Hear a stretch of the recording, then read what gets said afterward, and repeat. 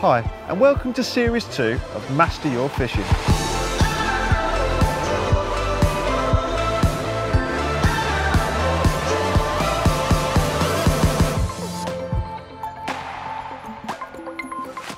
In Series 1, we gave a brief overview of the various tactics required for you to catch on commercial fisheries. In Series 2, we're going to be going into greater detail in some of those tactics.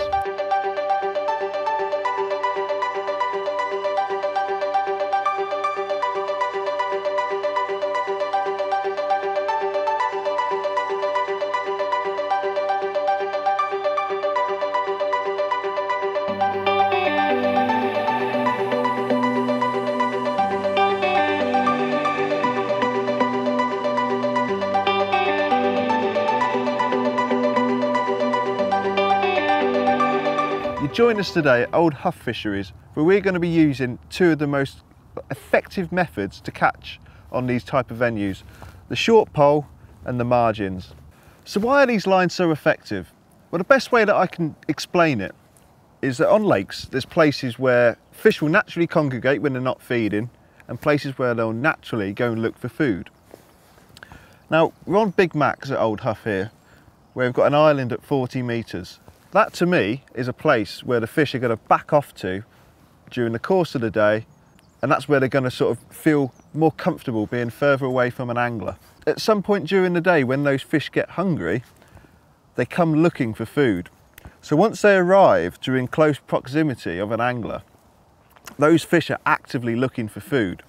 So what that does, it puts, it puts the fish on your terms. You can feed them how you want and catch them in a very quick manner because they're hungry, your rig's perfectly presented and you can feed the bait exactly how you want. So you can keep them nailed on the deck, you can bring them up in the water, you can dictate to the fish far more than you can on any other line. And that for me is why these lines are so effective.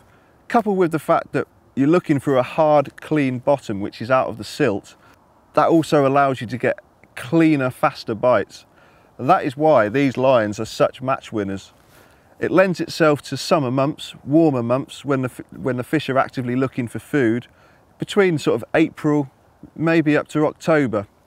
But even during the winter, if, if you're on an F1 venue, sometimes the best line in the middle of winter can be your short five metre line. So it's one of those, for me, it's when the fish are actively looking for food. That's when these lines come into play. So let's start by looking at the short line or what's commonly referred to as the five metre line, which can be a little bit misleading. Um, I'll show you what we look for. Okay, we'll come back to rigs in a sec. What I'll do first is actually plumb up. So what we're looking for, we're looking for the base of the shelf where it starts to level off before it hits the silt. Now, we don't want to be in the silt because that's, that can mask the hook bait and make it harder to get a bite. We're looking for a clean bottom. So what I'm going to do, I'm going to start with a plummet and drop the rig in on a top kit length, just so I can get a feel for the depth of the water and what it's doing. So as you can see, there's plenty of float sticking out there. I can already see that it's sloping away. So I'm just going to add sections until it stops sloping basically. And you can see there, that plummet hits the bottom nice and firm and hard which shows that we're out of the silt and still on the original clay bottom. So that's starting to get there now.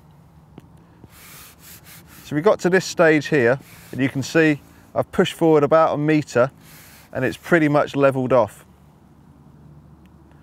Still going slightly, but I can already feel that the deck's starting to get a little bit softer there.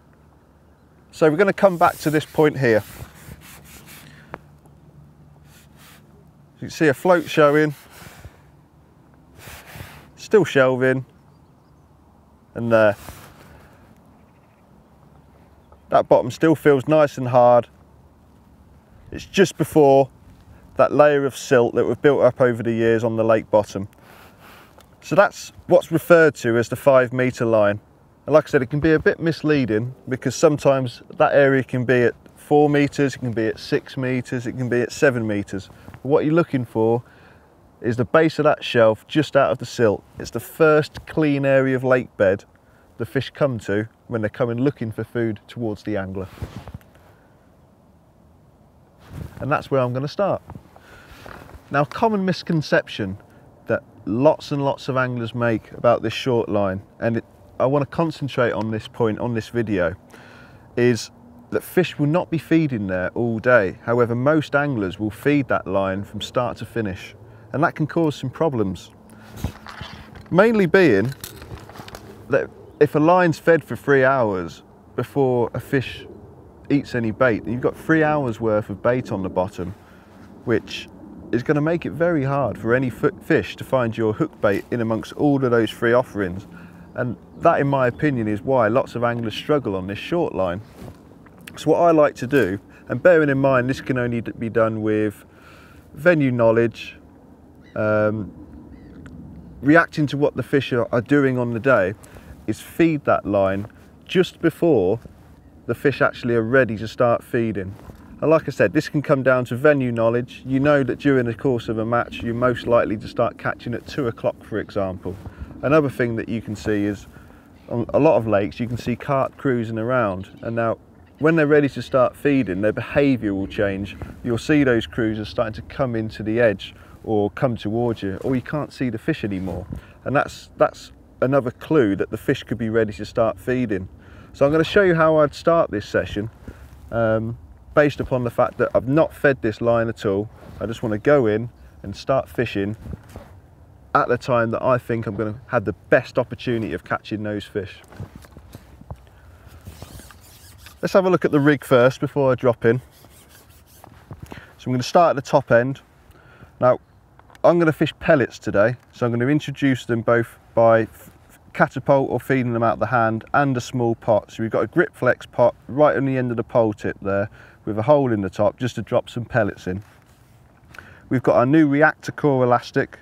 Uh, that's a, it's a 12 to 16 rating. That's absolutely perfect for the size fish that we're expecting to see here on Big Macs, which are two to three pound F1s and carp up to around about 12 pound. Main line 018 low vis. I use 018 for every one of my rigs. I believe the robustness and the stiffness of the line is everything you want from a main line. I don't think you need subtlety in your main line. In fact, the benefits of fishing a stiffer, heavier line far outweigh trying to fish lighter. So I'll always fish 018, even in the depths of winter. I've got a big number six back shot just above the float. As you'll see when I lay the rig in, I want to try and hold this rig in position for as long as I can without moving it. It's not a line that I'm going to be lifting and dropping. I just want to replicate my loose feed and get it straight on the bottom and sit there and wait for a proper bite. We've got one of our new Middy wrap floats. That's in a diamond shape in about a 0.3. It's, I'm, on, I'm on a lake today with very little wind so I can fish a fairly light float and hold it in position effectively. Super strong, super stable. We've got the uh, the braid wrapped round the top of the float, which doesn't affect the way the float sits in the water, but holds the eye in place. That's perfect for this style of fishing. Then we've got a simple spread bulk of number eight, number eight shot, and that's down to an 014 hook length and a 16 km KM3. Now you notice I've hooked the band on this one. The reason I've hooked the band is because I, not knowing this venue, I don't know whether I'll get more bites on expanders or hard pellets. So just by hooking the band, it gives me the option to swap between the two. And that is an 014 hook length. Again, not super strong, but more than strong enough to land these big carp in open water. So that's the rig. Let's show you what, I've, what how I start the session. I'm going to start by feeding around 12 pellets, 10, 12 pellets, something like that. Get them into the pot. Now an important thing to do is just to dunk them into the water.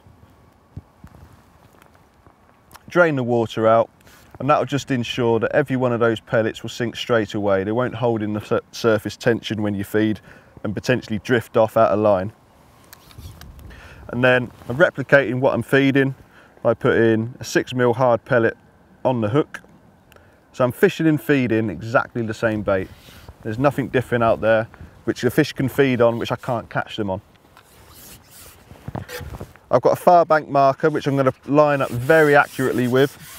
I've marked the pole with Tipp-Ex so I know exactly the distance and all I'm going to do is very accurately drop those pellets in and create an almost mini method feeder effect. So I've got those pellets in a very tight group. I'm going to swing the rig away from me because you don't want the rig swinging towards you because you'll have a massive loop in your line and you potentially won't see any bites. So I'm just going to hold that float while it swings back towards me. Drop that down in position. And then I'm going to use that back shot just to hold that rig in position until I get a bite basically. I wasn't happy with how the float was sitting there. It was sitting too high in the water. I know it will sit slightly lower once the weight of the pellet is in direct contact with the float bristle. So I'm just going to lay that rig in again, just so I know the second that pellet gets touched by a fish, I'm going to see an indication. Now, as I mentioned, I've fed a small little tiny trap of pellets with the cup. Now, we're on a big venue here, which possibly isn't enough to attract fish. If there was some fish feeding fish in the area, a small cup like that would be more than enough to get an indication or a bite. But today, the fish aren't really on the feed. It's a little bit harder than I expected.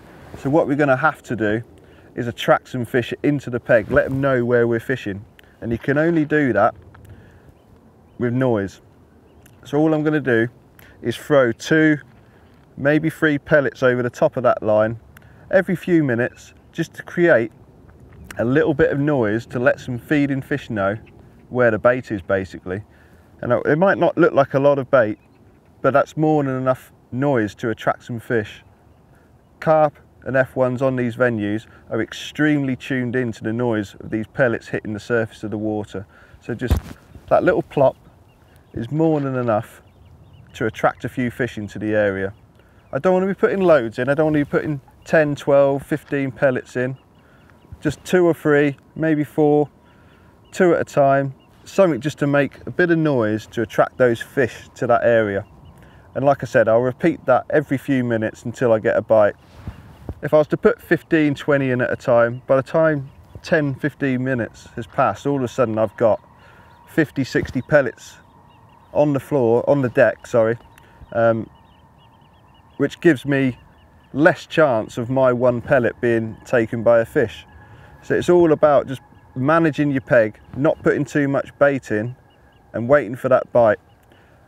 Like I said, you're fishing exactly the same bait on the hook to what you're feeding well, when fishing hard pellets. So if there are feeding fish in your peg, you will get a bite.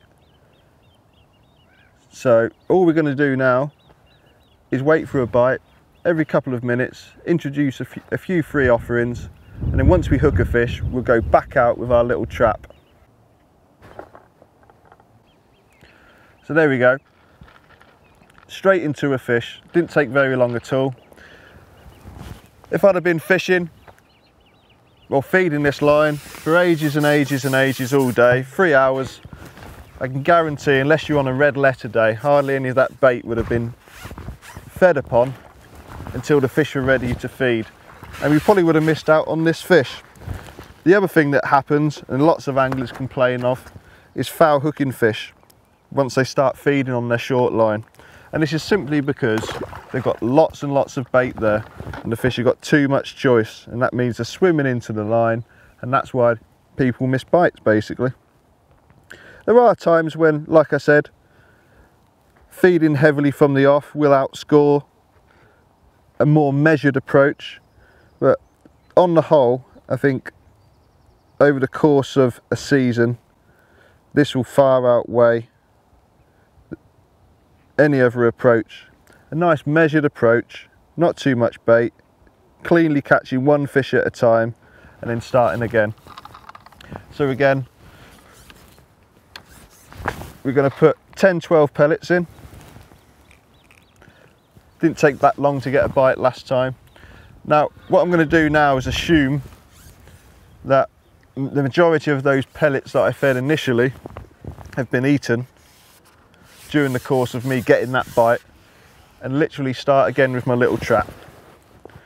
So accurately out to the point of the island, on the mark on my pole, dropping the pellets in a little tiny area, flick the rig out past and hold tight as that rig swings towards me. So that rig's sitting a little bit lower this time, so I'm just going to lift it up ever so slightly, drop it back down, and now that's ready to sit there and wait for a bite. So again, we're just going to make a little bit of noise and just repeat exactly the same process until we get another fish.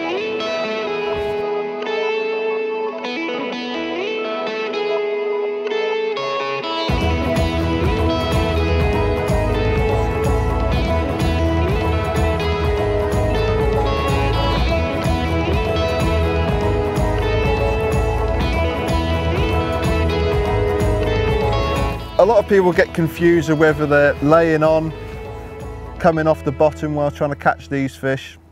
For me, the answer is no. When fishing in this style, I'm always going to stay just just touching. The best, you're best to plumb up with about an inch over depth and then pull the rig tight to the hook bait. That way you always know that the second that hook bait gets touched, you get a bite. Now there are times when you get that many fish there that you're getting loads of liners. There's two things that you can do in this situation.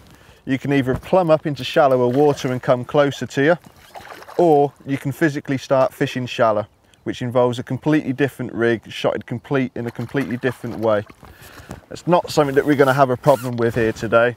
I think we're just gonna feed our little trap, attract a few fish and get a bite once every five, maybe 10 minutes and put a good weight into the net because these are big fish. But like I said, if you are having trouble with line bites, the only two things that you can do are physically fish shallow, and that's anything from two foot to four foot off the bottom in a swim like this, or come closer to you, or even go down into the margins, because it's a pure sign that the fish just want to be in shallower water. But the way this is working at the minute, this is working perfectly for this method. That we sit here, feed a little trap, catch a fish and repeat.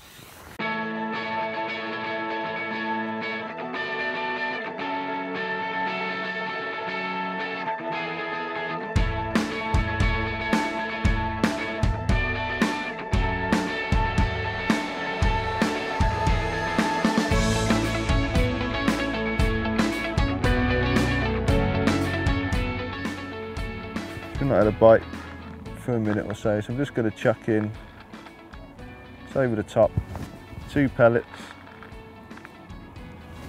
two pellets.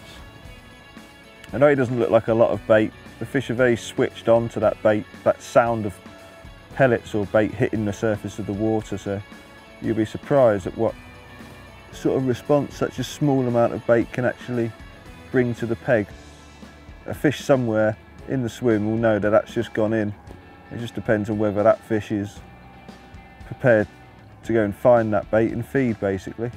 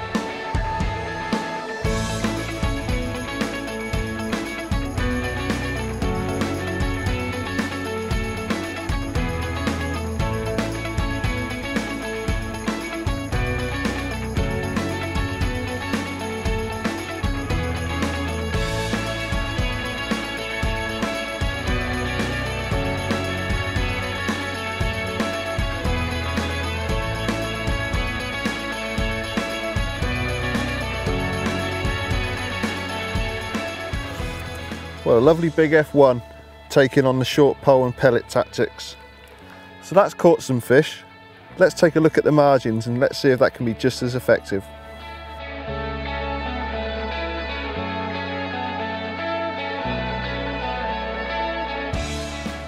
We've caught some fish from the five metre line, but I've had a few funny indications which tells me that the fish want to be in slightly shallower water, so it could be time to to try the margins. Now I'm going to treat the margins exactly the same as my five metre line. I don't want to start introducing bait onto it until I'm fairly sure I'm going to get a bite. Again, you're looking for clues, fish behaviour, carp starting to cruise into the edge, liners on your five metre line, or just knowledge of the venue. Because some venues you can catch down the edge from like the start of the session right through to the end. Others you're waiting for either a little bit at the start or a little bit at the end some is the last sort of couple of hours of a normal daytime session. It's all about general knowledge of the venue or picking up on the clues of what's happening around you. Even other anglers can be a good indicator. So, I'm not going to put any bait in. So what am I going to put in? For me, over the years, and I've, I've, I've touched this on series one, ground bait has caught lots of fish. It's a great attractor, but I don't think it's the best way to catch fish from down the edge just because of the nature of the bait with the small particles it can spread everywhere and take the fish with it. So once you start introducing ground bait you're you've got to keep doing it because you'll go in with a small sort of area of, of, of, of bait that's like made of ground bait small tiny particles. A fish will come in and disperse that all over the place. And to replicate that again, you've got to put another ball of ground bait in to try and get some fish to focus on the main group of feed. And before you know it, you've put in kilos and kilos and kilos. You've got loads of fish in your peg and you can't get a bite.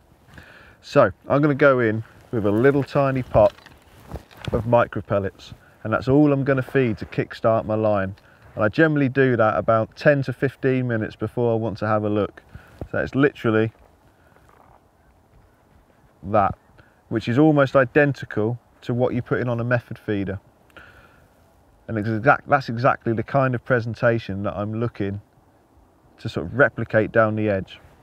I'm just going to put this in now. I've already plumbed up to a depth of two foot, which is right in tight against a very steep slope. That's also important to get against that steep slope, get against it, sorry, so that no fish can get in behind your rig you get loads of problems with line bites with big fish down the edge in such a small area where they can get past your rig into a sensible depth of water. You want to be tight in against the bank so your rig is the last thing they get into and that's the best way to get proper bites. Let me just feed this down the edge and I'll go through my rig. I'm going to follow exactly the same principles as my 5 metre line. I've plumbed up very accurately. I know what I'm lining in with. I know how far I'm going because I've marked the pole. You're going to cut that bait extremely accurately and carefully. So we know that that's smack bang on where we're going to be presenting our rig. That's very important to get the quickest bites down the edge when fishing in this manner. Okay, so let's have a look at the rig. Again, starting at the top end, as I've already touched upon, I've got our largest grip flex pot, and that's going to get filled with micros every time I drop in and look for a fish and all that's going to do is create a nice pile of bait on the bottom which will spread out a little bit and then I'm going to drop a 4mm expander over the top. The only time that might change is if I get too many bites off silverfish and I need a, a, a tougher hook bait and then I'll put some corn over the top. It's worth pointing out at this point that fishing with micro pellets in this manner two foot is really, or two and a half foot is really the maximum that you can do this in. I'm right on the maximum on this peg today of where I'd fish in this manner. Any deeper than that, and you're starting to look at either hard pellets, hemp, um, with big sort of worm hook baits because it's simply too deep to fish in this manner.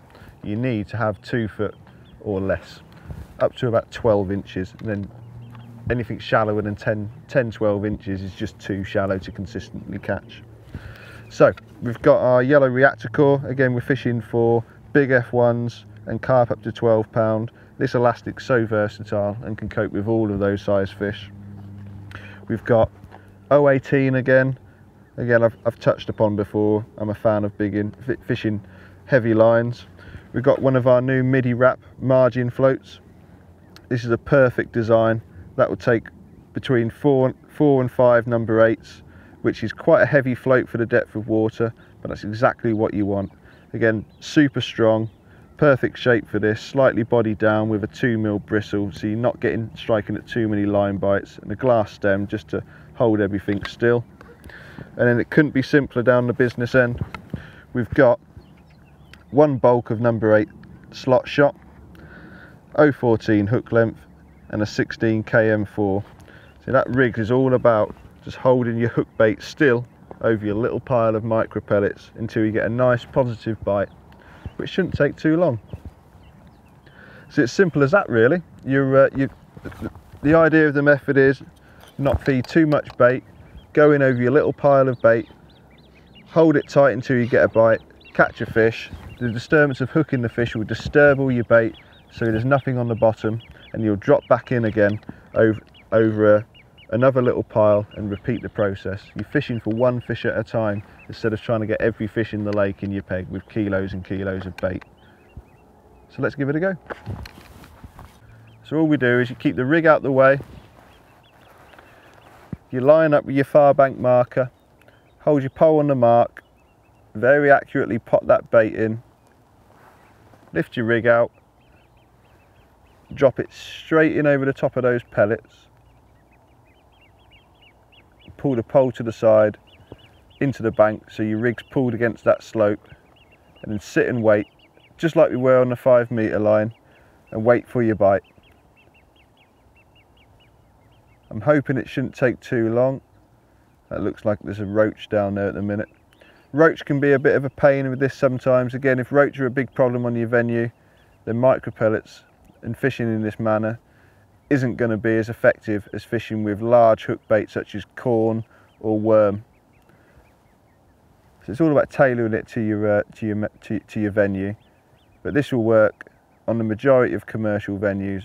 If you are fishing with other baits down the edge, again, the same principles still apply with the feeding, that you're better off waiting until the right time of the day before you start catching. You could sit down here for five minutes and hook the biggest fish of the day, or you could sit down here for four hours and not get a bite. Just five minutes at the right time is worth hours in the wrong. I think that was a big liner then. The only bite worth striking at is a short fast stab at the float. Anything else is either a small fish or a line bite and will result in a foul looked fish, there we go, or a roach.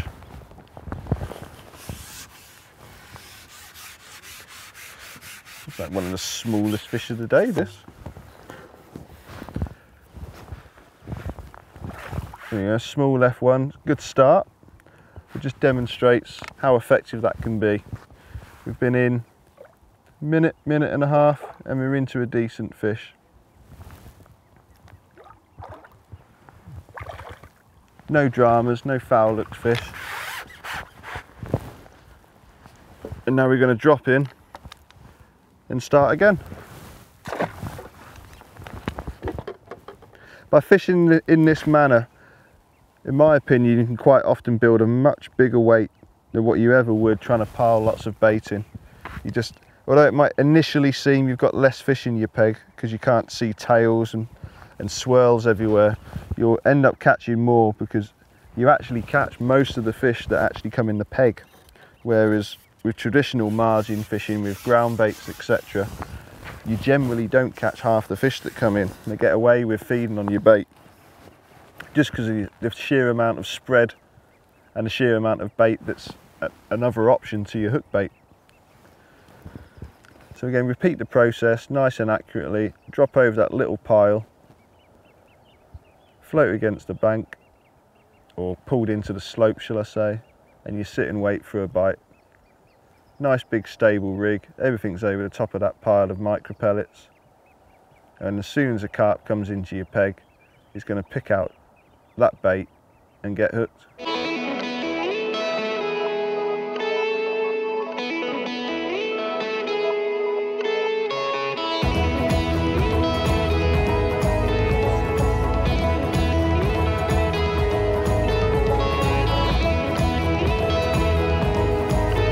This elastic's perfectly matched to this size fish. It's soft enough to not bum F1s, but more than strong enough to, to, to cope with fish up to 15, even sort of 20 pound. Coupled with a puller kit, it just keeps you in perfect control all the time. Big F1.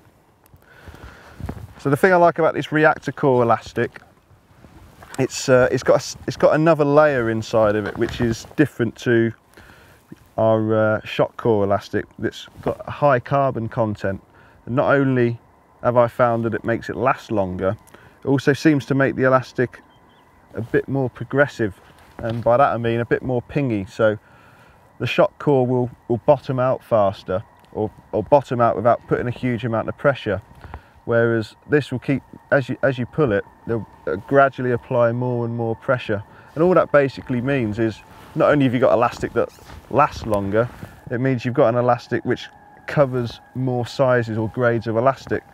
So I've been able to cut down on how many different top kits I carry to the bank since switching over to this reactor core. Get it checked out. It's a, it's a great new product. The great thing about it as well is it's brilliant value for money. So five meter lengths, you end up getting two standard top kits out of it rather than one, which you normally pay for with hollow elastics.